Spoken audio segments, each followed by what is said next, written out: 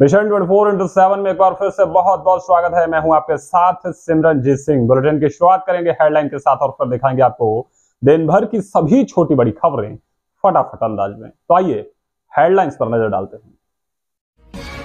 विकासखंड क्षेत्र सिंधौली के चंदपाई गाँव में सड़क को ठीक करने को लेकर ग्रामीणों में दिखा जुनून। सिख फार्मर्स ने चंदा इकट्ठा कर सड़क की खुद की मरम्मत। क्षेत्र में हो रही सराहना। तेलहर में लापरवाही बनी। एक महिला की मौत की वजह मकान का छज्जा गिरने से महिला की मौत। एक महिला बाल बाल बची। निगोही पुलिस ने टॉप टेन अपराधी को किया गिरफ़्तार। अपराधी के पास से 315 बोर का तमंचा और कारतूस बरामद। आधा दर्जन से ज़्यादा दर्ज है मुकदमे। जिलाधिकारी धर्मेंद्र प्रताप सिंह का ताबड़तोड़ निरीक्षण का सिलसिला जारी। ईवीएम और वीवीपैट वेयर हाउस का किया निरीक्षण। बेहतर रख रखाव के दिए निर्देश।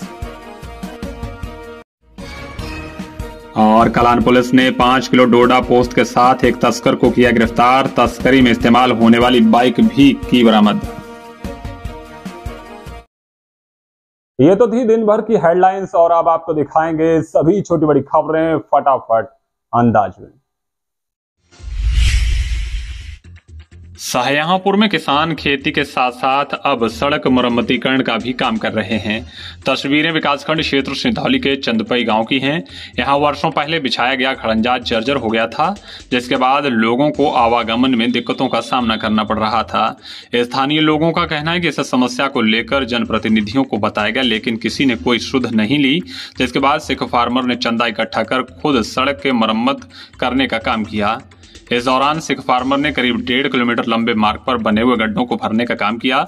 आपको बता दें कि ये मार्ग मुड़िया पमार से चंदपई से महासिर और चकझाऊ होते हुए पड़ोसी ज़िले लखीमपुर के कई गाँवों को जोड़ता है। शाहजहांपुर में आज किसान यूनियन चढ़ूनी गुट ने पीडब्ल्यूडी गेस्ट हाउस में धरना प्रदर्शन कर जमकर नारेबाजी की।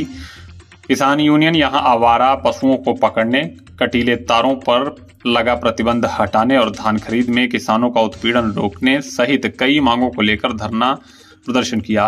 किसानों का कहना है कि अगर उनकी मांगे पूरी नहीं हुई तो वो आर पार की लड़ाई को तैयार हैं। ज़िले में ड्रैगन फ्रूट की खेती को बढ़ावा देने के लिए प्रशासन लगातार काम कर रहा है। आज गांधी भवन सभागार में उद्यान विभाग द्वारा कृषक गोष्ठी का आयोजन किया गया। यहाँ किसानों को ड्रैगन फ्रूट की खेती के बारे में जानकारी दी गई। इस दौरान ज़िले के प्रगतिशील युवा किसान अंशुल मिश्रा ने किसानों को ड्रैगन फ्रूट की खेती के बारे में विस्तार से समझाया।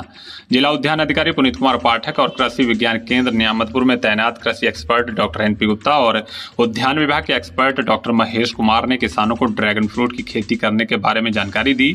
जिला उद्यान अधिकारी पुनीत कुमार पाठक ने बताया कि किसानों को ड्रैगन फ्रूट की खेती करने के लिए अनुदान दिया जा रहा है। इस मौके पर मुख्य विकास अधिकारी डॉक्टर अपराजिता सिंह भी मौजूद रहीं।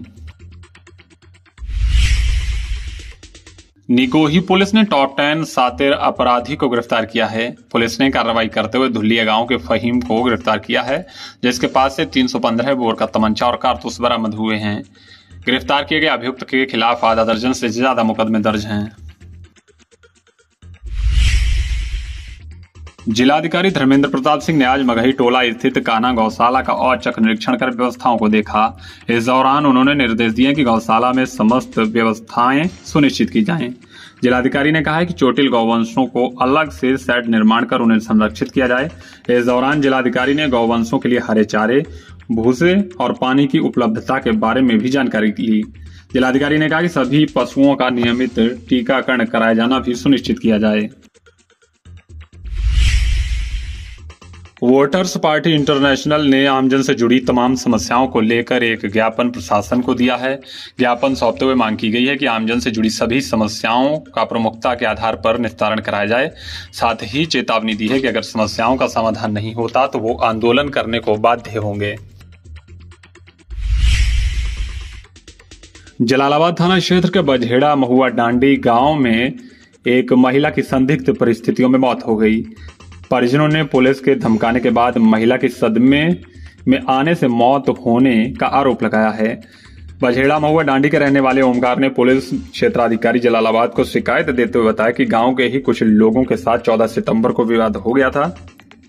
जिसके बाद पुलिस ने उनकी तहरीर के आधार पर एनसीआर दर्ज की थी। एनसीआर दर्ज होने के बाद पुलिस लगातार समझौता करने का दबाव बना रही थी। महिला के बेटे ओमकार ने पुलिस पर आरोप लगाते हुए बताया कि पुलिस ने घर जाकर धमकाया, जिसके बाद उनकी माँ सदावती सदमे में आ गई और उनकी मौत हो गई। भारतीय किसान यूनियन भानुगुट की आज एक पंचायत तिलहर में संपन्न हुई। यहाँ किसानों की समस्याओं पर चर्चा की गई। पंचायत के बाद किसानों की समस्याओं से संबंधित एक ज्ञापन उप जिला अधिकारी को सौंपा गया।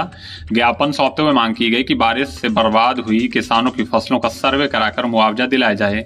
साथ ही सड़कों और खेतों में घूम रहे निराश्रित गौवंशों को पकड़वाकर गौशालाओं में पहुँचाए जाने की मांग भी की।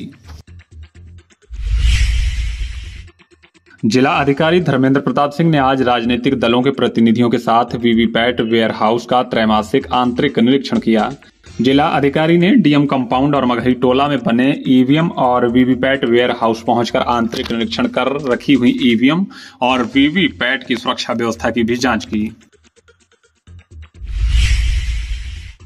अल्लागंज पुलिस ने चोरी के मामले में वांछित चल रहे एक अभियुक्त और नाबालिग आरोपी को भी गिरफ़्तार किया है।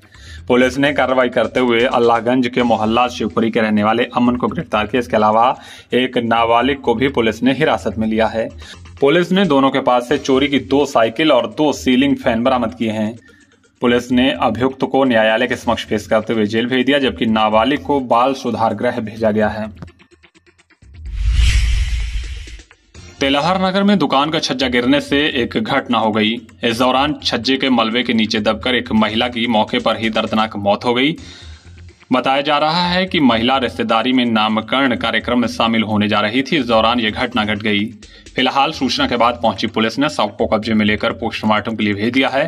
घटना तिलहर नगर के स्टेशन रोड की है। कलान पुलिस ने पाँच किलो से ज़्यादा डोडा पोस्ट के छिलके के साथ एक तस्कर को गिरफ़्तार किया है। पुलिस ने कार्रवाई करते हुए अमृतापुर गाँव के रहने वाले सुनील तिवारी को गिरफ़्तार किया।